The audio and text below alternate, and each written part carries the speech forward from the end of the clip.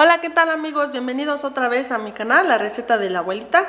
En esta ocasión vamos a hacer una receta que les va a encantar porque es facilísima de hacer. Si les gusta el picante, les va a fascinar.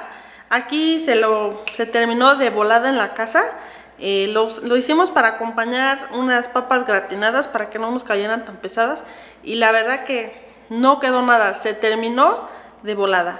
Esto es lo que vamos a necesitar una cabeza de brócoli que ya debe de estar lavada y ya miren ya está picado y todo, 12 rábanos también picados, unos 10 limones más o menos, estos sí tienen bastante jugo, chiles manzanos o habaneros a su gusto, ya deben de estar rebanados también y sal también vamos a necesitar.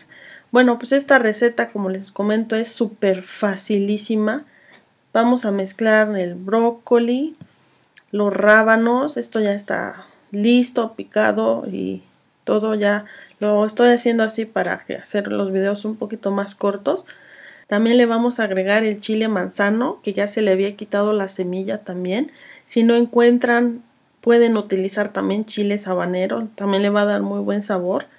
Ahora lo vamos a sazonar con el limón. Le vamos a exprimir todos los limones, más o menos son como 10 y están bien jugosos para que le calculen la medida. También se le va a agregar sal a su gusto.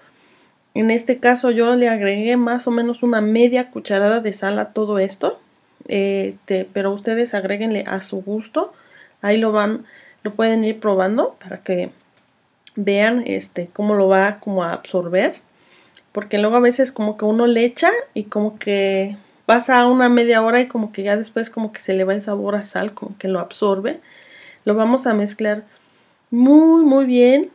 ¿Y qué creen amigos? Eso es todo. Lo vamos a dejar reposar nada más una media hora. Y como se puede ver aquí, hasta el color ya es diferente. Entonces déjenlo reposar un ratito y van a ver que va a agarrar un sabor muy muy rico. Y bueno, pues solamente lo vamos a servir. Y eso ha sido todo. Ah, bueno, me voy, a, voy a sacrificar por ustedes.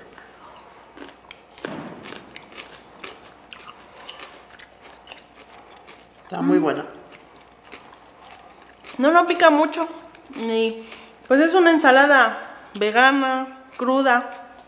Que a lo mejor a muchos de ustedes que andan en busca de esa receta les va a gustar. El chile manzano le da un toque picosito. Y como se cose a través del limón, pues está, está buena.